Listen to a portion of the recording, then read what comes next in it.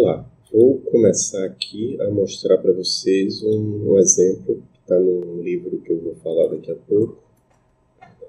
O livro é esse aqui, Programming Elixir. Então, este livro, achei interessante que eu vi ele hoje na Amazon, e ele está a versão em papel por 440 reais, bem caro. Ah, esse livro aqui também é bem interessante, da mesma editora, escrito por um brasileiro, um pouquinho mais barato, 204. Mas eu vou entrar, na verdade, aqui na editora, no site da editora. Eu já estou logado aqui. Então, esse, este é o livro. É o Programming Elixir 1.6. Este livro, quem tem um e-mail educacional, que se você tiver um e-mail .edu, .edu.br, você consegue uma versão digital gratuita. Mas vamos aqui no lugar onde eu... Não, não é isso. Onde eu consigo os meus livros. Então, tá aqui o livro, download book. Fazer o download do PDF. Está baixando aqui. Abriu. Então, este aqui é o livro escrito por David Thomas, com as palavras iniciais do José Valim. E o capítulo que a gente vai ver agora é o capítulo sobre servidores de servidores OTP parte muito importante do Elixir, que vem do Erlang, que são servidores OTP. Então, eu vou seguir aqui as instruções que ele dá, não vou explicar muita coisa inicialmente. Vou começar abrindo um terminal. Ah, uma coisa que, que eu esqueci de falar aqui, esse livro ele fala aqui que é para a versão 1.6 ou superior do Elixir. O Elixir que eu tenho instalado aqui na minha máquina é 1.10. Para este exemplo não vai fazer nenhuma diferença. A primeira coisa que ele diz aqui é para usar o mix que já vem com o Elixir e criar. Não, antes disso eu vou deixa eu ir para minha área de trabalho, vou criar uma pasta Elixir e agora sim eu vou fazer mix new sequence, onde eu vou criar um servidor. Inicialmente eu crio um projeto chamado sequence, simplesmente ele traz vários, ele cria vários arquivos aqui, depois ele diz vá para a pasta sequence e rode mix test, só para ver o que, se o, se o que ele gerou está tudo ok. Então, vamos abrir o Visual Studio Code. Então aqui ó, os arquivos que ele gerou já para mim. Então já tem um esqueleto de um projeto aqui pronto para mim. Aqui ele diz para eu criar um arquivo chamado server.x dentro de uma pasta sequence que está dentro da pasta lib. Então, eu vou criar aqui um novo arquivo sequence, que é a pasta barra server.x. Então, inicialmente não tem nada. Eu vou ele tem um link aqui para você pegar o código, mas eu vi que esse link não está funcionando corretamente. Esse aqui também não está funcionando bem, mas vamos só mostrar que dá para fazer. Então, tá aqui, eu posso... Uma coisa legal do Elixir é que ele já vem com um formatador padrão da linguagem. Vou criar aqui, formatar documento, pronto, o código está bonitinho agora. Então, o que foi que eu criei aqui? Eu criei um servidor para o projeto que eu estou fazendo, que é o Sequence, que é uma sequência de números. A única coisa que ele faz, por enquanto, é ele recebe um número inicial e guarda no estado dele. Veja que isso não fica muito explícito aqui, mas é isso que ele está fazendo. Ele está recebendo um número inicial e guardando esse número como estado. E toda vez que alguém pede o próximo número, ele quem, quem chama esse, essa função passa o estado atual, ele retorna, esse reply está dizendo que ele retorna ao estado atual, e o estado atual passa a ser estado atual mais 1. Então, é isso que ele fez. Será que já funciona?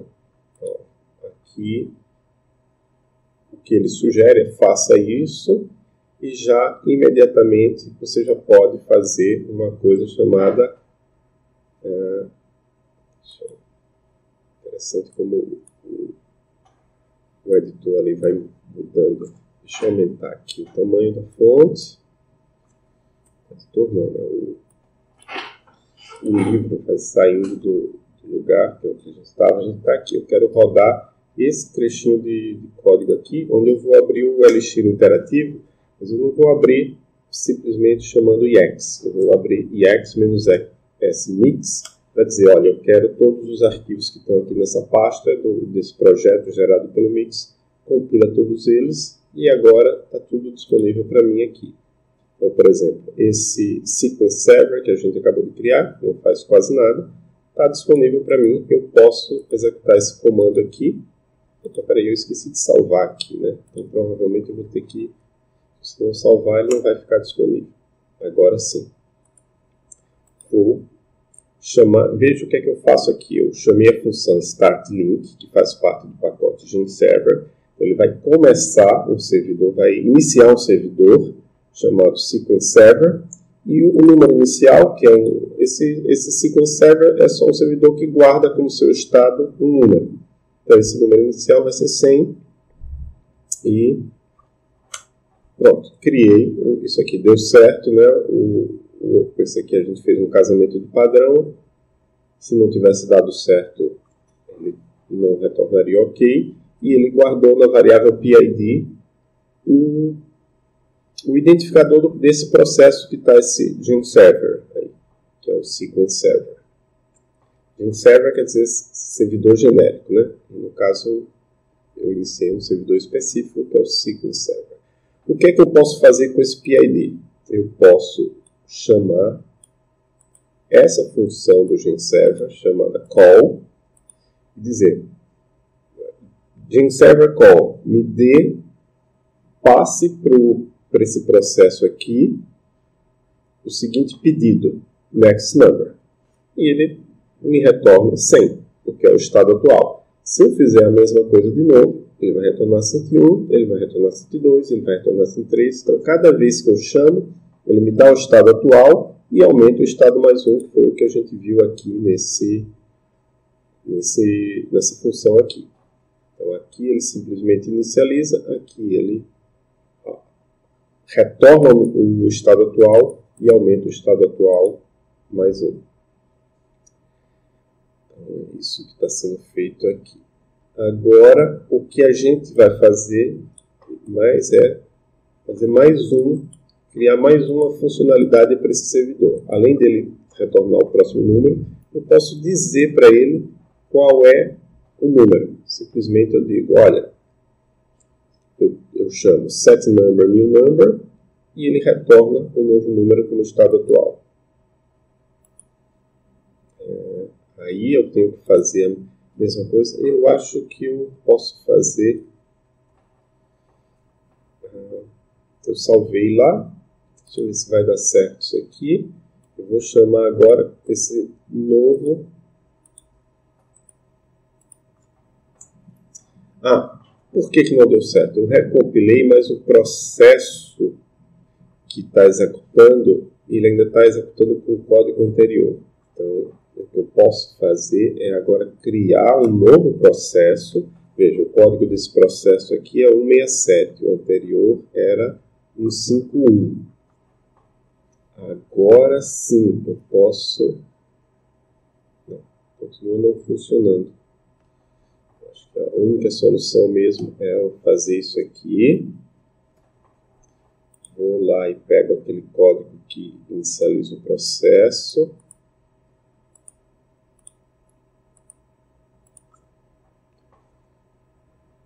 E agora sim eu posso dizer qual é o novo número.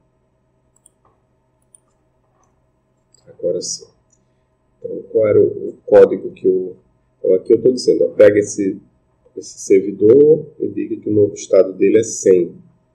Então se eu pegar aquele código aqui, que antes me retornava 100, 101, 102, ele vai retornar agora 1000, primeiro 999, depois 1000, depois 1001, depois 1002. Então, ele tem agora uma nova funcionalidade, esse servidor Sequence Server. Ele também permite que eu diga qual é o número atual do, do servidor. O que mais? Aqui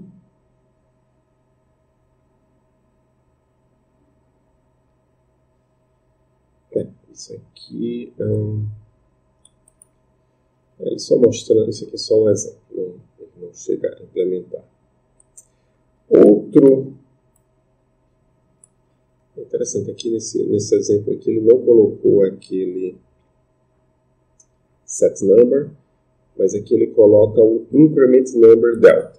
Então esse aqui é um outro, só que, veja, aqui é um call, esses dois aqui é handle call, esse aqui é handle cast.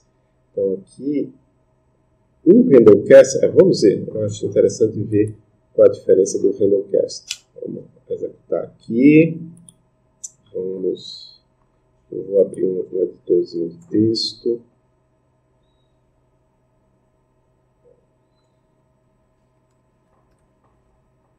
Mousepad. Só para deixar aqui pronto para mim isso aqui, enquanto a gente for precisar. São os comandos que a gente usa. Depois a gente vai ver que não é o, o ideal fazer isso, mas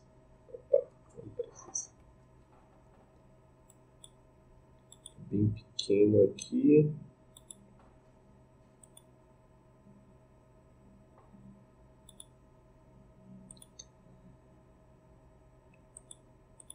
Essa não tem como. Ah, tá aqui, ó, tamanho. Vou colocar 19. Então, são esses comandos que eu vou precisar por enquanto. Como é difícil aumentar. Então, vou nem salvar esse arquivo aqui, só eu estava aqui, criei um novo, uma nova função aqui no servidor que diz que eu posso incrementar o número. E agora a gente vai ver a diferença. Criei, o, inicializei o servidor aqui, posso simplesmente pedir o próximo número. Funciona como estava funcionando antes. Só que agora eu quero testar o increment number. Eu não posso escrever esses dois pontos aqui. Esquecer, né? Eu posso esquecer os dois pontos. Agora eu quero que o próximo número seja 102 mais 100, 202 não funcionou porque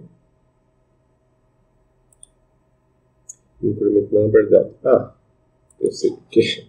Porque não é call, é cast. E aí vocês vão ver a diferença. Como é que ele chama o cast?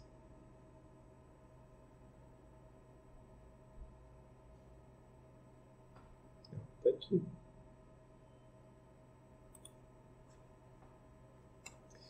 acho que eu não compilei aqui. Deixa eu ver.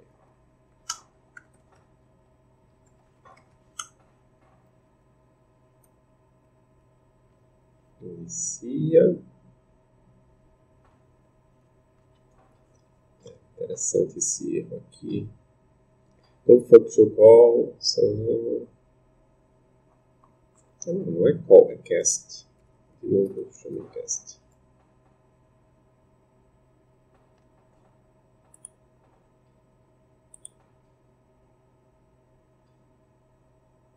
Não sei o que está acontecendo. Handlecast.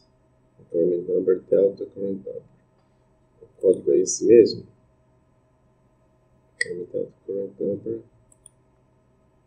Do no reply current number plus delta.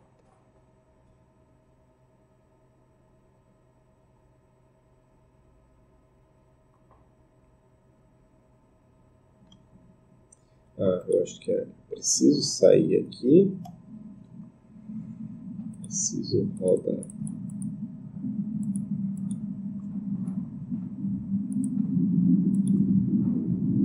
Não, se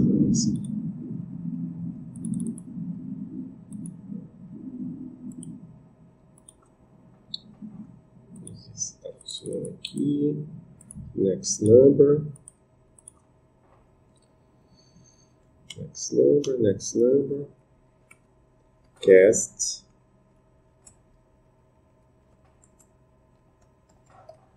Increment number, vírgula 100. Agora funcionou. Vejam, que eu, tudo que eu passei aqui para mostrar a diferença aqui. Enquanto que o cast retorna o valor, não, o call retorna o valor, o cast não retorna nenhum valor. Então agora, se eu chamar, agora vai vir 203. Interessante que ele pula o 202, né? Ele incrementa em 100 e pula 202 aqui. Vamos fazer um teste novamente. Está no 206, incrementei, next number 307. Então, aqui ele mostra como fazer um tracing, eu acho que não, não é relevante para a gente nesse momento.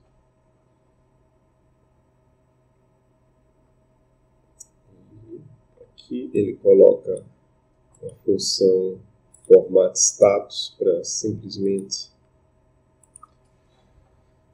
permitir o tracing de uma forma mais amigável. Eu vou passar rápido por isso.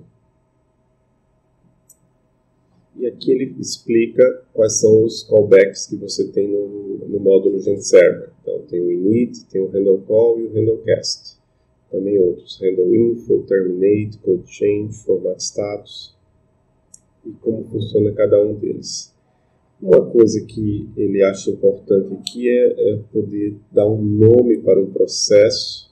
Então, olha, aqui eu vou criar um processo chamado é a mesma coisa, só que agora eu dei o um nome sec para esse processo e assim e assim eu consigo fazer a chamada next number sem passar o, o PID, mas sim o nome. Então, eu também posso fazer lá aquele increment number, agora eu posso colocar em vez do PID, eu posso colocar SEC, um nome algo mais significativo. O que mais que temos aqui nesse capítulo? Ah, Aí ele termina dizendo sobre como melhorar a interface. Então, esse aqui, ó, se eu clicar aqui, ele já me traz o código. Vou copiar todo esse código aqui, colar aqui. Então, veja o que foi que ele fez. Ele tem aquelas mesmas coisas, o start link, o call e o cast, só que agora ele está dentro de funções que ele chama de opa, API externa. Então, são funções que podem ser vistas por fora. E você diz, ó, quando eu começo, eu chamo, passo o número atual, como já fazia. Então, ele encapsula, ele coloca aqui dentro essas chamadas GenServer Start Link, GenServer Call, GenServer Cast.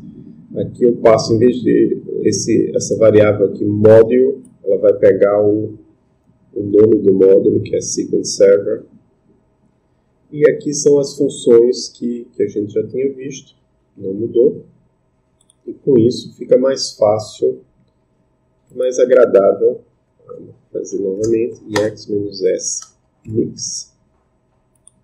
Eu chamo aqui, olha. Eu posso simplesmente colocar sequence server start link 123, que é o número inicial, sequence server qual é as outras opções? Next number. Então, next number não preciso de, de argumento. E, por último, increment number. Vou somar em 100, ele vai ficar... Não, não é start link. É o... increment number. Aí ele, ó, ele tem até o autocomplete, eu coloquei aqui. 100, 100, 100. Quanto, qual vai ser o próximo número? Será 125, vai ficar 300, 426. 426. E assim. É, aqui ele tem outras coisas sobre como transformar o servidor num componente, mas isso acho que já é uma coisa um pouco mais avançada.